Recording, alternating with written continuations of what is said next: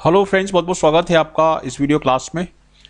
Friends इस video class में हम एक न्यू पैटर्न क्लोज टेस्ट को डिस्कस करेंगे और ये क्लोज टेस्ट सभी बैंकिंग एग्ज़ाम्स के लिए और सभी एसएससी एग्ज़ाम्स के लिए काफ़ी इंपॉर्टेंट रहेगा। इसमें हम कुछ बेसिक ट्रिक्स सीखेंगे क्लोज टेस्ट को सॉल्व करने की और इस पूरे वीडियो क्लास को आप ध्यान से देखें, तभी आपको ये सारी ट्रिक्स समझ में आएँगी।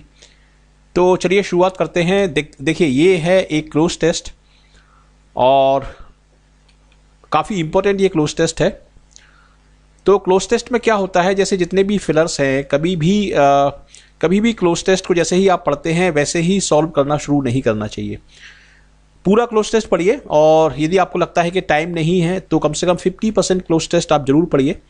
और इसके थ्रू आपको क्लोज टेस्ट का आइडिया लगेगा क्लोज टेस्ट की थीम क्या है क्लोज टेस्ट का टोन क्या है क्लोज टेस्ट का टॉपिक क्या है किस बारे में इसमें बात हो रही है। ठीक है? तो इस तरीके से इनको करना है और कुछ ट्रिक्स मैं आपको बताऊँगा यहाँ पर। देखिए, जैसे ये फिलर है, ठीक है तो इसका जो बगल वाला वर्ड है, ये जो वर्ड है और ये जो वर्ड है, इस वर्ड को आपको इसके साथ कोरिलेट करके ज़रूर देखना है। यहाँ पर जो ब्लैंक है, इसके साथ लेफ़्ट हैंड साइड में ये वर्ड है और राइट हैंड साइड में जो वर्ड है। तो यहाँ से आपको एक फेयर आइडिया लगता है कि किस तरीके से क्लोज टेस्ट किया जा सकता है। क्योंकि यहाँ पर यदि नाउन है तो फिर एडजेक्टिव आएगा। ये अभी मैं बताऊँगा कि कैसे करना है आपको। यहाँ पर प्रपोजिशन है, कुछ पर्टिकुलर वर्ड्स होते हैं जो पर्टिकुलर वर्ड्स के साथ ही मैच होते हैं। तो प्रपोजिशन के थ्रू भी आपको आइडिया लग सकता है कि कौन सा वर्ड यहाँ पर अप्रोप्रिएट रहेगा। तो यहाँ से मैं पढ़ता हूँ the interim result of Sunday presidential election in the Maldives have given the joint opposition candidate Ibrahim Mohammed Solih a victory इस क्वेश्चन में हम क्या बता रहे हैं? इस क्वेश्चन में हम ये बता रहे हैं कि संडे का जो रिज़ल्ट आया है प्रेसिडेंशियल इलेक्शन का, और ये इलेक्शंस मॉलदीप में हुए हैं। The interim result of Sunday Sunday's presidential election in the Maldives have given the joint opposition candidate joint opposition के कैंडिडेट कौन है? इब्राहिम मोहम्मद सोली तो इनकी क्या हुई है? विक्ट्री हुई है। विक्ट्री यहाँ पर क्या है? एक नाउन है। ये किसी भी चीज़ का एक नाम है। ठीक है? तो विक्ट्री के बगल में क्या वर्ड आएगा? विक्ट्री के बगल में एडजेक्टिव वर्ड आएगा। यहाँ पर एक एडजेक्टिव चाहिए आपको जो इस नाउन को मॉडिफाई कर सके। और ऐसा एडजेक्टिव चाहिए जो विक्ट्री वर्ड के साथ नेचुरली जाता है। अब देखते हैं इसके ऑप्शन डिजायर्ड होपफुली सॉफ्ट और स्टिली देखिए होपफुली नहीं होगा, क्योंकि ये एडवर्ब है सॉफ्ट नहीं होगा स्टिली नहीं होगा। सॉफ्ट भी एक एडजेक्टिव है, लेकिन सॉफ्ट विक्ट्री नाम की कोई चीज़ नहीं होती। अब दो वर्ड आपके सामने बचे डिजायर्ड और रिसाउंडिंग तो डिजायर्ड का मतलब क्या है कि जिस, जिसकी आपने इच्छा की थी, डिजायर्ड विक्ट्री।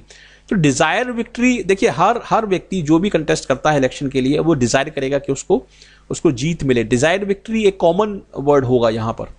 लेकिन हम यहाँ पर क्या बोल रहे हैं कि उसको एक शानदार विक्ट्री मिली है। उसको, उनको एक शानदार विक्ट्री मिली है। तो यहाँ पर रिसाउंडिंग कहना ज़्यादा अप्रोप्रिएट होगा। The interim result of Sunday president's election in the Maldives have given the joint opposition candidate Ibrahim Mohammed Soli a resounding victory in the direct contest with the Abdullah Yamin. तो यहाँ पर आपका answer क्या होगा resounding यहाँ पर अब देखिए यहाँ पर भी एक नाउन है अब्दुल्ला यमीन ठीक है तो अब्दुल्ला यमीन को इन्होंने हराया है इब्राहिम मोहम्मद सोली ने, और ये ये हारे हैं और इब्राहिम जो है वो जीते हैं, ठीक है? Victory in the direct contest जो इनकी कॉन्टेस्ट था, जो इनका कंपटीशन था, वो किससे था? अब्दुल्ला यमीन से। तो अब्दुल्ला यमीन प्रॉपर नाउन है, यहाँ पर क्या चाहिए? नाउन से पहले हम क्या लगाते हैं? एडजेक्टिव लगाते हैं। तो अब्दुल्ला यमीन से पहले हम किस एडजेक्टिव को लगाएँगे? क्या हम हेल्दी लगाएँगे? हेल्दी अब्दुल्ला यमीन, कोई सेंस बन रहा है इसका? नहीं बन रहा। लेटर मतलब बाद वाला कोई सेंस नहीं बन रहा। इनकम्बेंट कल्प्रेट और ऑब्लिगेटरी कल्प्रेट का मतलब अपराधी होता है। तो अब्दुल्ला यमीन अपराधी है, ऐसा हम यहाँ पर नहीं बोल रहे हैं। हेल्दी है, कि एक हेल्दी पार्टिसिपेंट से कंपटीशन करेंगे, इसका कोई सेंस नहीं बन रहा है। तो सही आंसर क्या होगा? देखिए, इनका जो इलेक्शन हुआ है, वो किससे हुआ है? जो इनकम्बेंट अब्दुल्ला यमीन है, जो ऑलरेडी चार्ज में है, जो ऑलरेडी ऑफ़िस में है, उनके साथ इनका कंपटीशन हुआ है, उनके साथ कॉन्टेस्ट हुआ है। और इस कॉन्टेस्ट में इब्राहिम मोहम्मद को जीत मिली है और अब्दुल्ला यमीन हार गए हैं। तो जो हारा हुआ व्यक्ति है, वो पहले ऑफ़िस में था, वो पहले चार्ज में था। ठीक है, अब उसको रिप्लेस किया जाएगा जीते हुए व्यक्ति के द्वारा। तो जो व्यक्ति ऑफ़िस में होता है, जो व्यक्ति चार्ज में होता है, उसको हम बोलते हैं इनकम्बेंट इनकम्बेंट यहाँ पर आपका एक सही आंसर होगा। इनकम्बेंट एक एडजेक्टिव है। इनकम्बेंट अब्दुल्ला यमीन। जो ऑफ़िस में होता है, जो चार्ज में होता है, उसको हम बोलते हैं इनकम्बेंट ठीक है? इस तरीके से इनको लॉजिकली इन क्वेश्चंस को करना होता है क्लोज टेस्ट में. The final result will be published by the election commission by September 30 and the current government will according to procedure hand over अब देखिए, इसमें आगे क्या है कि फाइनल रिज़ल्ट जो है, वो इलेक्शन कमीशन के द्वारा पब्लिश किए जाएँगे. कब तक पब्लिश किए जाएँगे? सितंबर 30 तक. यहाँ पर एक वर्ड ये प्रपोजिशन लगा है बाय सितंबर 30 बाय सितंबर 30 का मतलब होता है नॉट लेटर देन। उसके आगे नहीं, उससे पहले या उस तक। तो बाय सितंबर 30 का मतलब है कि 30 तारीख तक या 30 तारीख से पहले, नॉट लेटर देन। बाय का मतलब होता है नॉट लेटर देन। ठीक है? Current government will according to procedure hand over. अब जो करेंट गवर्नमेंट है, वो किस चीज़ को हैंड ओवर करेगी? हैंड ओवर मतलब दूसरे व्यक्ति को देगी जो जीता हुआ है। क्या उसको चार्ज देगी, क्या उसको थ्रोन देगी, क्या उसको की देगी, क्या उसको विक्ट्री देगी, क्या उसको ऑब्लिगेशन देगी? देखिए थ्रोन क्या होता है? थ्रोन होती है राज सिंहासन या राजगद्दी तो राजगद्दी या थ्रोन का जो वर्ड का हम यूज़ करते हैं, वो वो किंगडम के सेंस में हम यूज़ करते हैं, राजा महाराजाओं के सेंस में यूज़ करते हैं। तो राजा महाराजाओं की या रियासतों की बात तो नहीं हो रही है इस पैसेज में। इस पैसेज में तो डेमोक्रेसी की बात हो रही है और डेमोक्रेसी में जो इलेक्शंस होते हैं, उसकी बात हो रही है। तो थ्रोन कहना गलत होगा। ठीक है?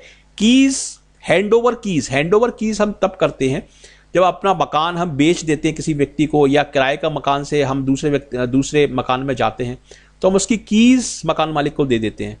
तो कीज तो बिल्कुल ही गलत होगा। हैंड ओवर विक्ट्री कहना सेंसलेस होगा। हैंड ओवर ऑब्लिगेशन कहना सेंसलेस होगा। तो एक ही वर्ड बचा यहाँ पर चार्ज हैंड ओवर चार्ज और नवंबर 17 ठीक है, तीस तारीख को रिज़ल्ट आएगा और गवर्नमेंट जो इनकम्बेंट गवर्नमेंट है, वो नवंबर सत्रह को, चार्ज को हैंड ओवर कर देगी। It is immediately clear that Maldivians voters have in change अब यहाँ पर क्या वर्ड आएगा? अब यहाँ पर देखिए, मैंने बताया था आपको कि जो जो बगल में जो वर्ड्स हैं एडजॉइनिंग वर्ड्स हैं, जैसे हैव और इन इसके साथ इस वर्ड्स को, इस वर्ड को आपको कोरिलेट करना है। हैव का मतलब यह है कि यहाँ पर थर्ड फॉर्म आएगी। इनके साथ कौन सा वर्ड जुड़ सकता है? डेल्ट सिग्नल इंडेमनीफाई अशर में केवल अशर वर्ड यहाँ पर जुड़ सकता है, क्योंकि अशर के साथ हम इन प्रपोजिशन का यूज़ करते हैं। और अशर में ईडी भी लगा हुआ है। तो यहाँ पर अशर वर्ड पूरी तरीके से जस्टिफाई हो रहा है कि हैप के साथ यहाँ पर थर्ड फॉर्म चाहिए आपको, और एक ऐसा वर्ड चाहिए जिसके साथ इन आए। तो अशर इन का मतलब क्या है? अशर इन का मतलब है किसी चेंज की शुरुआत करना, जो कि मालदीवियन वोटर्स ने यहाँ पर की है। तो अशर इन कहना यहाँ पर एकदम सही होगा। अशर इन चेंज चेंज के सेंस में हम इस वर्ड को यूज़ करते हैं, usher in. With 58 percent percent of the voters choosing mister Solih of political affliction अब फिफ्थ में देखिए फिफ्थ में फिफ्थ में आपके एडजॉइनिंग वर्ड्स कौन से हैं? ऑफ़ तो ऑफ़ के साथ कौन सा वर्ड इनमें से जा सकता है? ऑफ़ के साथ केवल रिगार्डलेस जा सकता है, क्योंकि हम बोलते हैं रिगार्डलेस ऑफ़ रिगार्डलेस ऑफ़ का मतलब है कि इस चीज़ को इग्नोर करते हुए, इस चीज़ को यदि हम नहीं भी माने तो भी ये चीज़ सही होगी। जैसे यदि मैं बोलूँ कि everybody will be given a chance regardless of their gender इसका क्या मतलब? है इसका मतलब है कि हर व्यक्ति को चांस दिया जाएगा, चाहे उनका जेंडर कुछ भी हो, चाहे वो मेल हो या फीमेल हो। तो रिगार्डलेस का ये मतलब होता है रिगार्डलेस के बाद हम ऑफ़ लगाते हैं। तो यहाँ पर सही आंसर होगा आपका regardless Maldivians have much to celebrate with the successful completion of the election तो मालदीवियन के पास एक सेलिब्रेट करने का एक मौका है, एक चांस है, और इस इलेक्शन के कंप्लीशन के बाद। तो ये सिंपल पैसेज है सिंपल क्लोज ज़्यादा टफ क्लोज ज़्यादा टफ पैसेज ये नहीं है। और आईबीपीएस क्लर्क में प्री में मीन्स में इस तरह के पैसेज आपसे पूछे जा सकते हैं। सिंपल लॉजिक आपको अप्लाई करना होता है क्लोज टेस्ट में। और जो फिलर होते हैं, जो ब्लैंक होते हैं, उसके बगल वाला वर्ड आपको देखना होता है और उस बगल वाले वर्ड के साथ ब्लैंक को आपको कोरिलेट करना होता है। पार्ट ऑफ़ स्पीच की नॉलेज भी इसमें काम आती है, क्योंकि आपको पता होना चाहिए कौन सा वर्ड नाउन है। और यदि नाउन है तो नाउन के साथ एडजेक्टिव जाएगा। ये आपको पता होना चाहिए। कहाँ पर एडवर्ब आएगा? किस वर्ड के साथ कौन सा प्रपोजिशन नेचुरली जाता है? ये भी इसमें आपको देखना होता है। जैसे आपको मैंने बताया कि रिगार्डलेस के बाद ऑफ़ आता है अशर के बाद इन आता है। तो इन सारी ट्रिक्स को यदि आप अप्लाई करते हैं तो किसी भी क्लोज टेस्ट को आप आसानी से कर सकते हैं। ठीक है तो यहाँ पर मैंने इस क्लोज टेस्ट को एक्सप्लेन किया है। इसका फीडबैक आप ज़रूर मुझे ग्रुप में दीजिएगा। और कोई भी कमेंट है, कुछ भी चीज़ शेयर करना चाहते हैं तो इन नंबर्स के थ्रू मुझसे आप कॉन्टेक्ट कर सकते हैं। तो इस वीडियो क्लास में इतना ही, अब मैं आपसे मिलूँगा नेक्स्ट वीडियो क्लास में। Thank you